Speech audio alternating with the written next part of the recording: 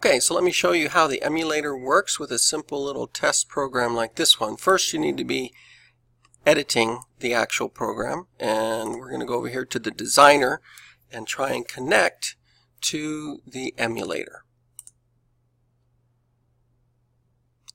This is one of those things you have to be patient with, so I'm going to leave this in real time so you can see exactly how long this can take.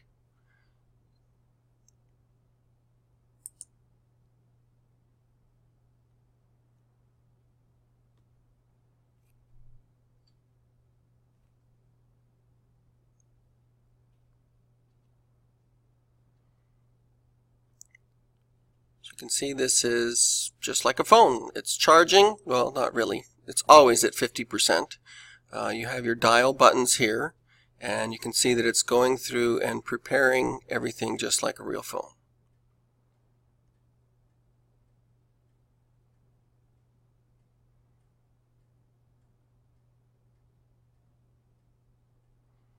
So now it's automatically unlocked it and it's sending this little simple test program to the phone. Now the first time you do it, it's going to try and update it. So let's go ahead and click OK. It's now being installed. Now this is very important. When it's finished, you click Done. You don't just open it, you have to click Done and then reset the connection. So this first time that we run it, sometimes you have to do this, this several times. I'm going to go ahead and say got it and go back over here and we're going to say OK. We're going to replace the app that's on the phone and install it. Instead of open, remember, click on done. So you might want to have your mouse over on this side as you're waiting for that.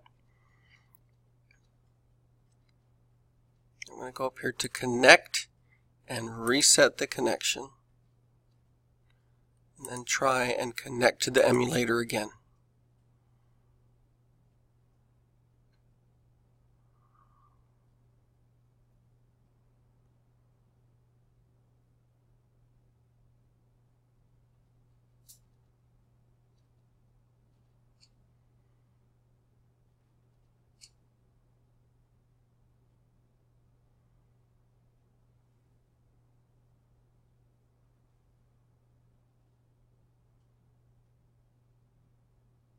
Do not upload any pictures to this phone. It does not have very much memory.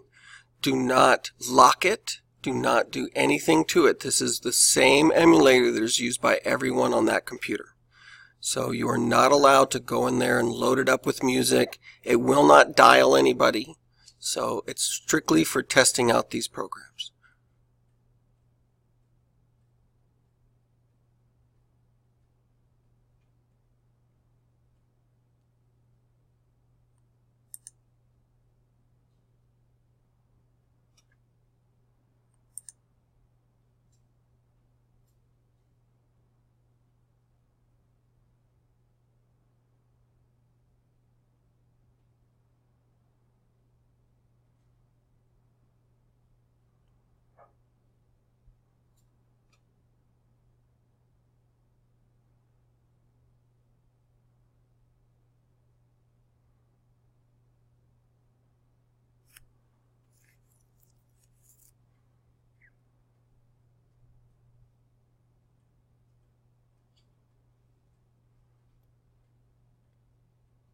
We seem to be in a loop here. This is a problem.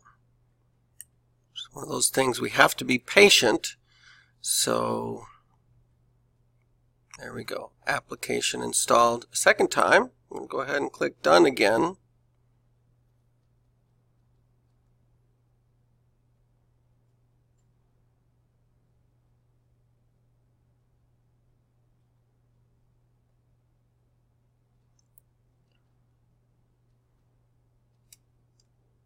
Let's have it keep trying in this case. It seems like everything is going right.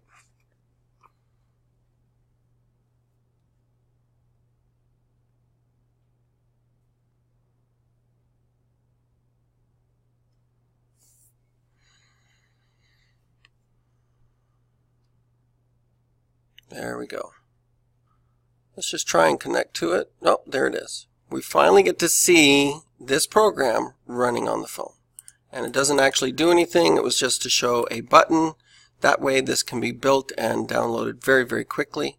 Uh, you will create your app and test it out on here first and then put it on one of the Kindles or your own device. But that is the patience required to get this emulator to do what needs to be done. Sometimes you have to reset that connection and then connect to it again a couple of times. Um, hard resets don't really work very well here at school. And running the AI companion on an actual device is great at home. It allows you to make changes to the app and see it immediately instead of having to go this route. This is building the APK not to save to the computer. We'll do that at the end when it's finished. But to try it out on the phone, we can do a quick QR code scan. And this is compiling this simple test program. This is why I made it so simple. If you have a lot of pictures or a lot of coding in there, this can take a really long time to create the QR code. QR code is like a barcode. It's just something that you can scan and it links directly to the app itself on the MIT App Inventor website. They store it, but only for two hours. So after a couple hours, this QR code no longer works.